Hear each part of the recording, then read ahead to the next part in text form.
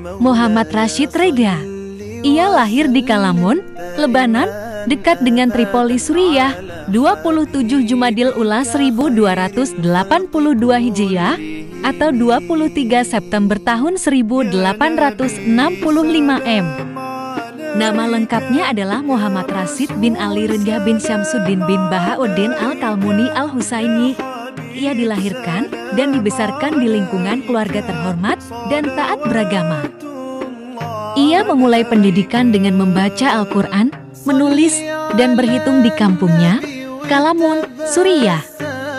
Ia masuk ke Madrasah Ar-Rasyidiyah, yaitu sekolah milik pemerintah di Tripoli untuk belajar ilmu bumi, ilmu berhitung, ilmu bahasa, seperti nahu dan saraf, atau ilmu tata bahasa Arab, dan ilmu-ilmu agama, seperti akidah dan ibadah.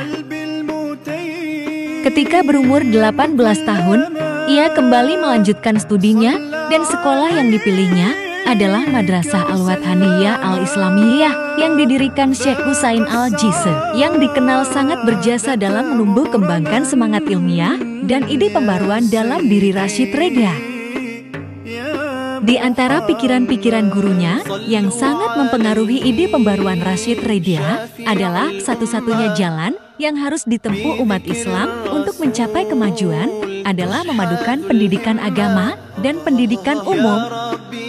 Berdasarkan pengalamannya di dunia tarekat, Rashid Ridha juga seorang pengikut tarekat Naqsyabandiyah. Ia menyimpulkan bahwa ajaran-ajaran tarekat yang berlebihan dalam cara beribadat dan pengkultusan seorang guru membuat seseorang mempunyai sikap statis dan pasif. Rashid Ridha meninggal di Mesir 22 Agustus tahun 1935 Masehi atau 1354 Hijriah, kemudian dimakamkan di Kairo, Mesir, bersebelahan dengan makam gurunya, yaitu Muhammad Abdul. Sekian dari kami, terima kasih.